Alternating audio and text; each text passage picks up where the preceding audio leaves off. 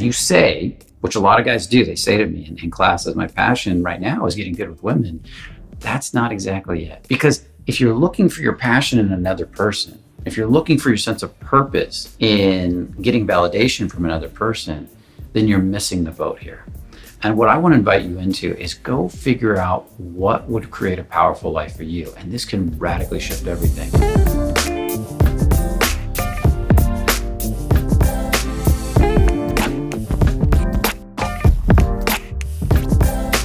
So in this video, I want to talk about one thing that could radically shift your results with women. And it's something that a lot of guys don't think about. And I want to see if this is you. Are you the type of guy that's obsessing over women, trying to figure out, watching tons and tons of video, trying to figure out the techniques to get women, trying to figure out what to say, what to do, how to get the women, and uh, nothing's quite working? You're pushing, pushing, pushing, but the more you push, the more burned out you're getting. Well, then this video is for you. In this video, I want to talk about something so simple. Sometimes it's elusive you see, women don't want a guy who's constantly needy and chasing them. Women don't want a guy who don't have a life beyond them, who need them to feel good about themselves. So I want to invite you into and give you permission to create a life. What I mean by this is that one of the most important things that guys that are good with women are good at is having a life outside of women. They have stuff they love to do. They build a powerful sense of self expression. They go out and learn to play music if they love music. They go out and learn to race cars if they want to race cars or get a motorcycle or they, be, they get into a band or they.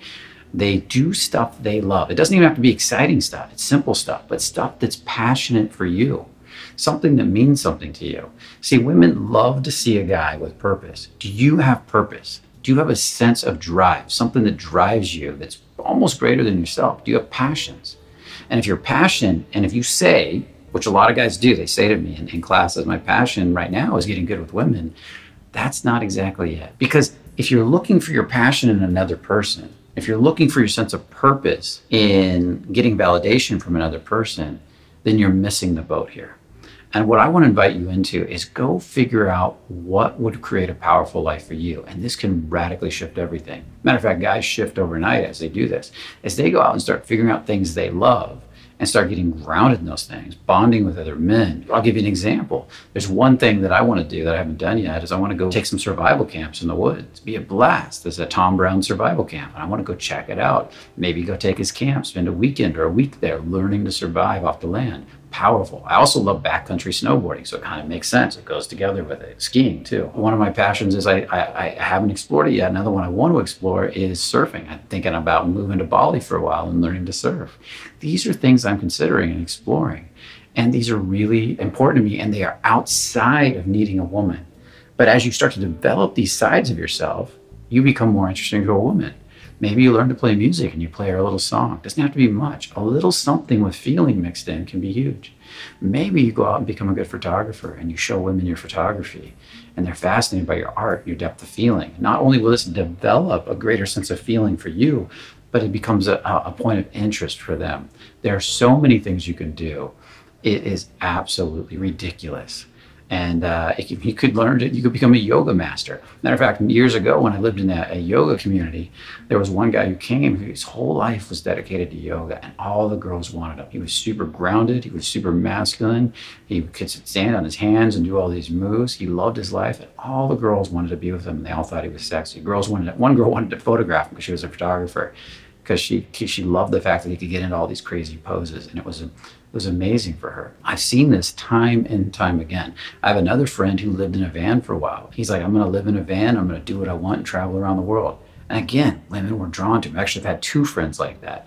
They, one of them was a photographer, lived in a van, traveling around photographing, and the other one lived in a van and spent a lot of time skateboarding, learning to snowboard, and kept inviting women into that life. So, what kind of life do you want to create? What do you, what's a real passion for you? I would recommend that you develop two or three passions. If you don't know what your passion is, go out and explore. Go out and try different things. Make a list of 10 things that you're going to try and try them. Maybe you want to go learn to hang glide. I know another guy who got radically into hang gliding and he was doing it almost every weekend. People were fascinated by it because how many people do you know that hang glide? I know other guys that get into skydiving and how much fun and how, how much they, their confidence grows and their self esteem grows by skydiving because it causes so many releases and so many shifts in your subconscious mind. I've seen so many different versions of this, it's ridiculous. But the one thing I know is that if I name any of the naturals, any of the guys that I know that were good with women, they didn't need women to make them happy. They had a life without the women and they invited women into that life.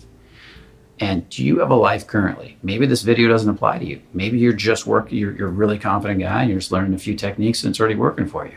But if you're struggling in this area and you're not happy with your life and you need women to make you happy and you haven't learned to be happy for you, that could be the biggest shift and the biggest key in this whole video.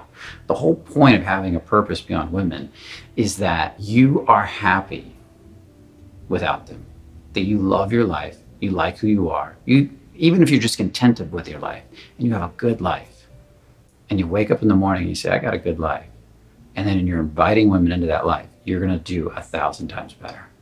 That's huge. Now, you put that together with all the other stuff we talk about on this channel, and your whole life is going to change radically. So, really take this one idea into consideration, and I'm going to give you permission one simple permission, and that's the permission to go out and be a little selfish and figure out what makes you happy. Be selfish. Go out and figure out what turns you on beyond women. What turns you on? Another way to put it is what are all the things you've always wanted to do? And if you're not sure, pick, pick a few things. But what's something you've always wanted to do? What are the things? And I'm giving you permission to go explore it because it will help to make you better with women. It'll help to make you more confident. It'll help to take your life to the next level. I'm actually contemplating, I, I do this sometimes. I just take off and go skiing for the weekend. I don't want anybody with me. I'll go skiing or snowboarding. I'll travel. I was thinking about flying to Montana this weekend to explore a new town that I think is beautiful that maybe someday I'll want to live in, to spend a few days on the mountain, take pictures and, and do photography because I want to do it. Not because I need the photographs for Instagram or I need somebody to validate me or because I need a girl to like me and I want to impress her, but because I want to do it. Matter of fact, sometimes ski trips are better without women because sometimes you spend a lot of time teaching them to ski. And if you really want to cut loose and, and have fun on the mountain, either getting a buddy, a good buddy that's really good, that's at the same level as you, or just going up and ripping on your own. Because if you can't have fun with you, then something's missing. You should be one of your best friends, is a better way to put it. So, with that said, I hope you really enjoyed this video. And I want you to list in the comments some of the stuff that you're going to go explore to really develop a greater sense of purpose or passions, another way to put it, passions in your life to, to help ground you into really loving your life. Put a couple comments in there let us know what, what you're going to explore, what you do explore, what you do like to do. I'd love to hear that. And with that said, if you got some value out of this video, I'm going to ask you to go ahead and like the video and subscribe to the channel and hit that bell notification. And with that said, remember, only the confident really live. See you in the next video.